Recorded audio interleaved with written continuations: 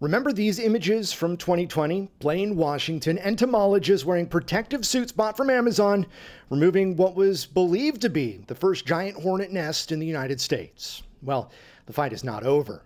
Experts in the US and Canada bracing for more sightings as spring approaches. Even if indeed uh, they do establish themselves, human predation on these hornets will be so terrible that they will always have a rough time to establish themselves an apex predator that lives up to its nasty nickname. Just a few giant hornets can take down a hive made of thousands of bees. The most striking difference has to be the size. A regular honeybee comes in at about a half an inch. A murder hornet, though, three times that, at an inch and three quarter. The State Department of Agriculture leading the charge. They plan to once again capture a live specimen and fit it with a VHF radio tag. But this time, they'll use Kevlar tape not glue or dental floss. And so we'd like to collect more specimens to better understand the genetic diversity of this particular species. Soon, some 1,500 traps will go live in Whatcom County, even more in BC.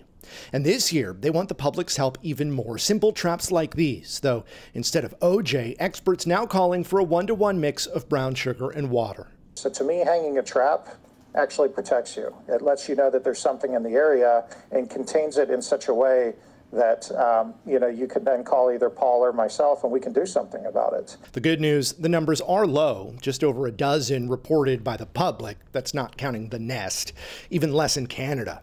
Experts say that the public's help is instrumental. For more information on how you can help, text the keyword hornet to the number on your screen.